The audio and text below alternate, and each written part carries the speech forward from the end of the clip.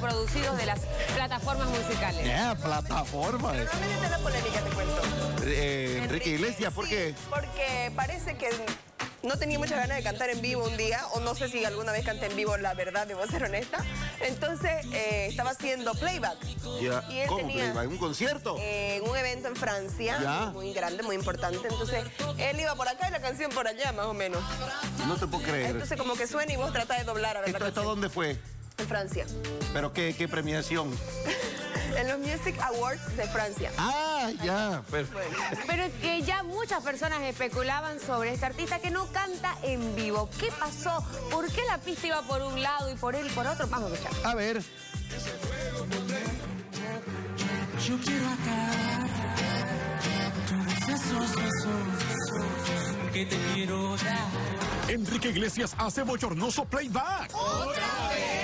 Nuevamente el flaquito de la eterna cachucha se ha convertido en el centro de burlas y críticas debido a la presentación que realizó en los NRJ Music Awards en Cannes, Francia, en donde era evidente que realizaba playback, al punto que el cantante optó por alejarse del micrófono, levantar los brazos y dejar correr el tema que ya tenía su voz pregrabada.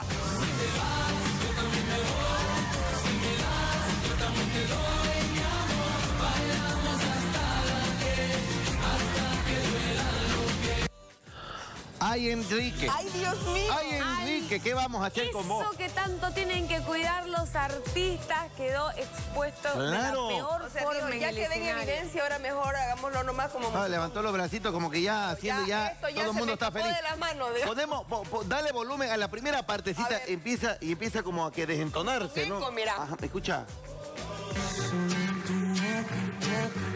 Yo quiero acabar todos esos besos que te quiero dar. Enrique Iglesias ¿Sabes qué pasa? Uno, digamos que ya tiene experiencia en el canto. Claro, yo, yo que... ¡Ay, ey! Su, su, su INI es... ¿Su qué? Estaba fallando. Su INI es... Su ¿Qué es el INI? El audífono. El niés, el niés, amiga, el, el El audífono por donde él recibe su voz, él se da cuenta, ahí algo está pasando, dice, porque se agarra el oído, vas a ver. ¿Qué se llama eso? INI es... No, el niés, amiga, es una zona sumamente privada, una zona que no, no está ni entre... Es un para hacerlo más fácil, es un audífono a través del cual ellos pueden escuchar la música que deberían estar cantando, imitando. Oye, la tuta, y empieza a pararse el hombre porque vio que la pista iba por un lado, por el otro, y era como que desentonaba de rato, Claro. que cuando llegó el corito dijo, ya me fui a la... a la, a la este, y, y mira, empieza... Esta es la parte del coro, escucha.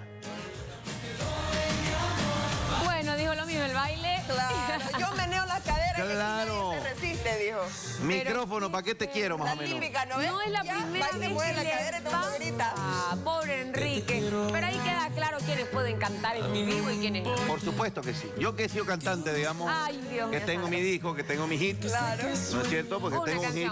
una. Exacto. Una. Hay artistas que tienen una, ahí está el otro muchacho, el, el, el- bueno, no me acuerdo su nombre.